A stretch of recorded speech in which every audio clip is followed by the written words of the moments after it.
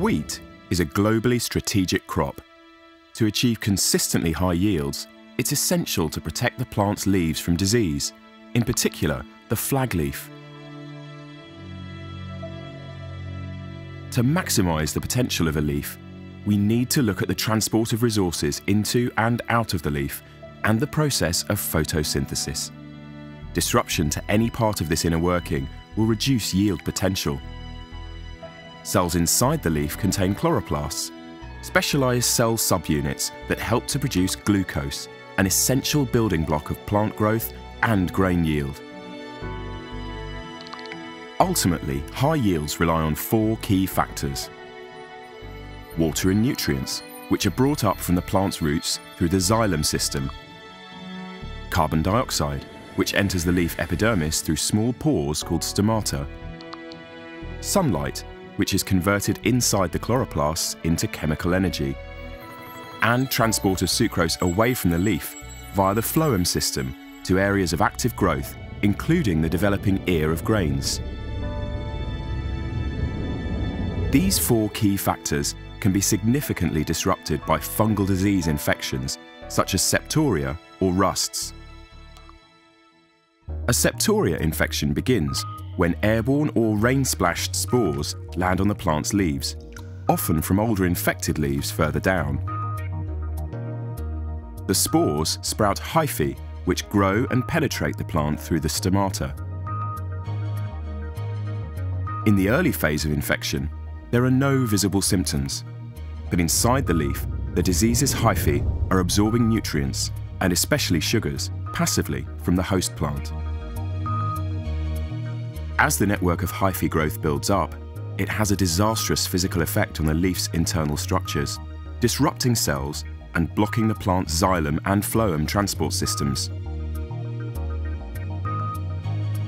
Applications of fungicides at this phase may stop the disease from spreading, but the damage to the plant's tissue has already begun, and the impact on yield cannot be reversed.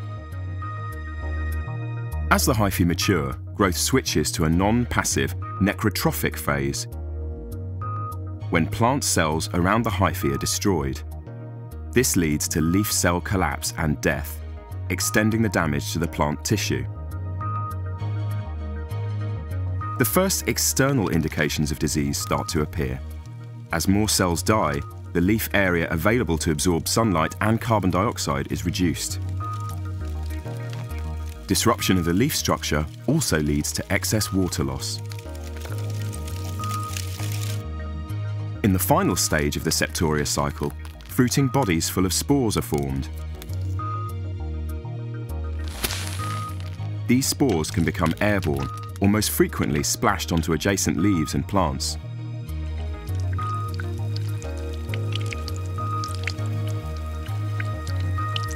With rust infections, the disease cycle is much shorter, with more superficial damage to the leaf, causing increased water loss.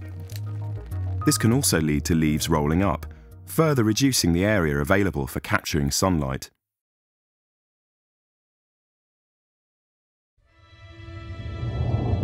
Protecting a healthy wheat crop from the devastating effects of septoria and rust infections is essential to maintaining high yield. Solatenol is distributed over the leaf surface as a fine spray. Unique surfactants encourage the spray droplets to stick and spread over the leaf surface. This maximises both plant coverage and the amount of solatenol available for uptake. The product is absorbed into the leaf and distributed by both translaminar movement and distinct sideways movement, especially in the direction of the leaf tip. Unlike some other active ingredients, this movement results in a more uniform distribution throughout the leaf tissue. Solatenol is absorbed by the developing hyphae through direct contact, either as it grows on the leaf surface or during its early growth inside the leaf tissue after penetrating through the stomata. The hyphae's energy is produced in its mitochondria subcellular organelles that use the host plant's own glucose oxidation in order to support growth within the host. Glucose oxidation produces cellular energy. This requires oxygen consumption in a process termed respiration. One of the crucial intermediate stages of this complex energy production process, starting with glucose, is the formation of succinic acid. Succinic acid is oxidized by an enzyme known as complex 2, succinate dehydrogenase, to produce fumaric acid and electrons. Once the complex 2 has transferred its succinic acid-derived electrons to the respiratory channel, oxidized fumaric acid is released to continue the energy creation process, leaving the complex 2 free to accept more succinic acid in a continuing cycle of energy production.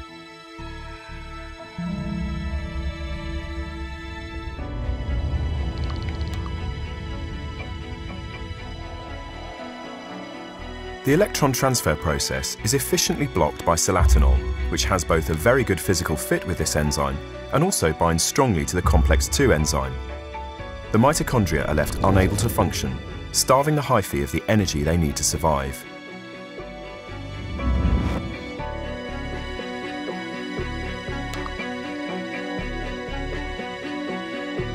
Due to its distribution both on and inside the leaf, and because of its high intrinsic activity, Solatenol is highly protectant, preventing infection at the initial stages of disease development in order to maximise leaf productivity. By preventing the disease developing before it can cause damage, the water and nutrients can flow freely into the leaves. Leaf tissue is protected, maintaining photosynthetic potential and preventing excessive water loss the production of sugars necessary for growth and yield is sustained, and sugars can be freely transported from the leaf to the developing ear for maximum yield. Solatenol's more complete leaf protection allows the plant to fulfill its high-yielding potential.